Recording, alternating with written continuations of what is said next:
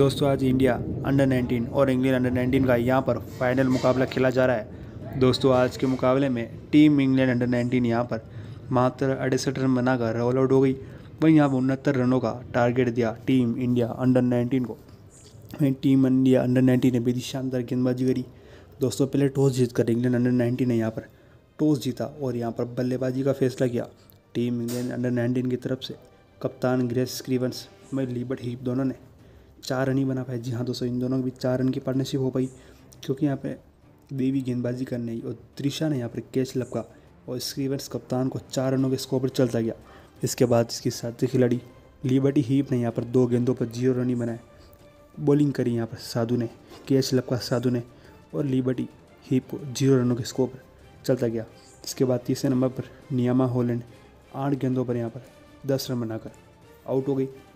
इन पर एक बेहद ही बड़ी ज़िम्मेदारी थी कि पार्टनरशिप बिल्ड करना, लेकिन ये पार्टनरशिप बिल्ड नहीं कर पाई और आठ गेंदों के अंदर दस रन बनाए, दो शानदार यहाँ पर चौके भी लगाए इन्होंने और 125 यहाँ पर कि स्ट्राइक रेट से बेहतरीन बल्लेबाजी करी। लेकिन देवी जो आज के मुकाबले में शानदार फॉर्म में चल रही थी, उनके सामने कोई भी बल्लेबाज नहीं टिक पाया। देवी ने अच्छी गेंदबाजी करते हुए नियाम हॉलैंड को यहाँ पर दस रनों के स्कोर पर बोल्ड कर दिया और नियाम हॉलैंड दस रनों के स्कोर पर बोल्ड आउट हो गई। चौथे नंबर पर आई कप। विकेट कीपर सीरीन इस्माइल यहाँ पर बल्लेबाजी करने उतरी। नौ गेंदों का सामना किया और मात्र यहाँ पर तीन रन ही बना पाई। तैंतीस पॉइंट तैंतीस के स्ट्राइक से एक भी चौका और एक भी छक्का नहीं लगा पाई।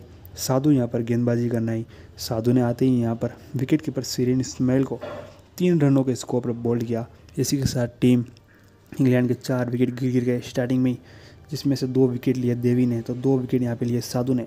दोनों ही गेंदबाजों ने ये मैच में दो दो विकेट अपने नाम कर लिए। और यहाँ पर पाँचवें नंबर पर बल्लेबाजी करने उतरी रियाना मैकडोनल्ड इन्होंने यहाँ पर अच्छी बल्लेबाजी करी। टीम को एक अच्छी पार्टनरशिप बिल्ड करके दी। चौबीस गेंदों का सामना करते हुए उन्नीस रन बनाए सिंगल डबल चुराए। इसी बीच इन्होंने तीन चौके भी लगाए। उन्नीस की स्ट्राइक से चोपड़ा गेंदबाजी करने आई। और यहाँ पर देवी के हाथों केस करवा कर मैक डोनल्ड को उन्नीस रनों के स्कोर पर चलता गया। और उनकी एक अच्छी सी, छोटी सी यहाँ पर रनों की जो पार्टनरशिप थी बिल्ड हुई और वो रन बनाकर अच्छी बल्लेबाजी करी। इसके बाद छठे नंबर पर आई एलेक्सा स्टोन हाउस ने यहाँ पर 25 गेंदों पर 11 रन बनाए। इन्होंने बेहतरीन शानदार अच्छी पारी खेली। एक चौका लगाया पारी में, चौवालीस की शरीर से। दोस्तों, कश्यप एक छोर से गेंदबाजी करने आई और यादव के हाथों कैच करवा कर स्टोन हाउस को यहाँ पर ग्यारह रनों के स्कोर पर चलता गया। एलेक्सा स्टोन हाउस ने भी मैकडोनाल्ड की तरह अच्छी पारी खेली, ग्यारह रन बनाए। इसके बाद यहाँ पर सातवें नंबर पर बल्लेबाजी करने उतरी जोसिस ग्रूस ने। पाँच गेंदों का सामना करते हुए चार रन बनाए और अनफॉर्चुनेटली ये तिवारी के हाथों रनआउट हो गई। अच्छी बल्लेबाजी कर थी, हर एक गेंद पर सिंगल दौड़ रही थी और फिर पाँच गेंदों के अंदर चार रन ही बना पाई रनआउट हुई तिवारी की वजह से अस्सी की शगर से। दोस्तों, इसके बाद यहाँ पर आठवें नंबर पर बल्लेबाजी करने उतरी हना बेकर ने।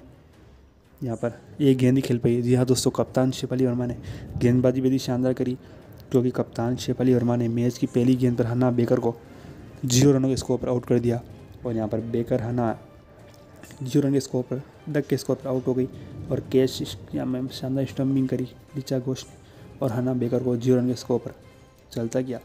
इसके बाद यहाँ पर नबे नंबर पर बल्लेबाजी करने उतरी सोफिया इस्माइल, जिन्होंने सात गेंदों का सामना किया और ग्यारह रन ही बना पाई और कैच यहाँ पर क्लब का यादव ने और बॉलिंग भी की थी यादव ने। बॉलिंग ने अच्छी गेंदबाजी करते हुए यादव ने कैच लपका और ग्यारह रनों के स्कोर पर सोफिया इस्माइल को चलता गया। सोफिया इस्माइल एक सौ सत्तावन की स्ट्राइक से रन बनाकर यहाँ पर आउट हो गई और ग्यारहवें नंबर के बल्लेबाज एली एंडरसन यहाँ पर नाबाद रही। दो गेंदों पर ज़ीरो रन बना पाई और दो सौ चार रन टोटल एक्स्ट्रा के मिले टीम यहाँ पर इंडिया वुमेंस को, जिसमें से तीन वाइट रनों का शामिल था। तो एक यहाँ पर नो बॉल भी शामिल थी। मई दो सौ सत्रह पॉइंट एक ओवर के अंदर। Team England under nineteen women की टीम मात्र यहाँ पर अड़सठ रन बना पाई, तीन पॉइंट छन्नू की रन रेट से और उनसत्तर रनों का लक्ष्य रखा यहाँ पर। Team India under nineteen women के सामने, team India under nineteen women उनसत्तर रनों का लक्ष्य का पीछा करने उतरी।